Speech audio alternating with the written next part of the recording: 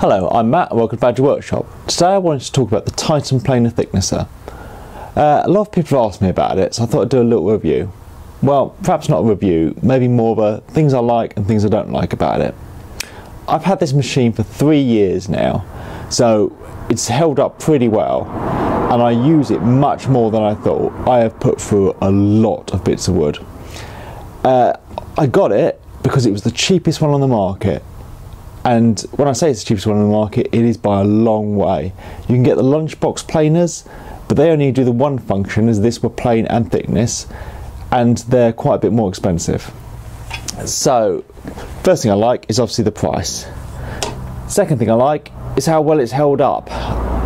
For the money, I didn't expect much from it, and three years later, still going strong. I'm pleased with that. Uh, it has two blades and I like the fact that for about £20 you can get th another set. So when they dull I can just swap them out and I can sharpen them so that's really good.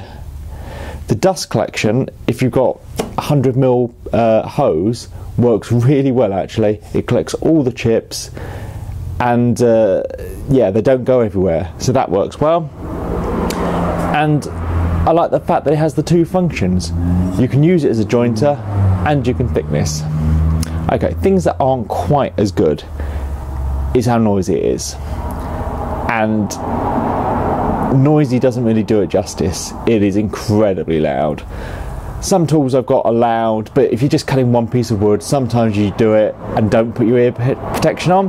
With this, you couldn't possibly be in the room with it without ear defenders on. So that limits the time of day I can use it, and really if it's the weekend or not. So I don't like the noise factor.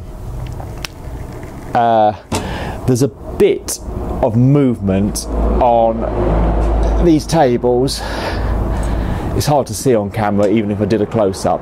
But when you put the weight of the wood there, it is there. I've tried to tighten everything up, but it doesn't seem to do anything. Uh, so that means you have to fiddle around to get good results. But for the money, I kind of expect uh, it not to be perfect. The fence is not very strong either, so if you want to do the jointing function, you have to check for squareness every time, which is a bit of a hassle, but you can live with it. And probably the last thing I don't like is this is the dust port that has to be put in place with some micro switches that get locked down. Uh, and this is on the thicknessing function. Then you have to undo these bolts and put it down to do the planing function or the jointing function. It takes quite a lot of time to do that. But I tend to keep it in this function and just use it as a thicknesser. If I wanted to joint and then thickness one piece of wood and then keep swapping back and forth, that would get very tiresome very quickly. So, I guess my conclusion is great for the money. There are problems with it, but I think I paid £130. What did I expect? It has lasted me three years. Well, and still going strong. Would I get it again?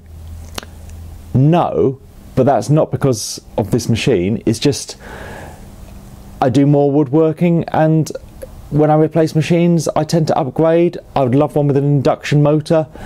The helical head cutters look amazing, but you're not talking twice as much money, you're talking 10 times as much money, so it's not fair to compare them.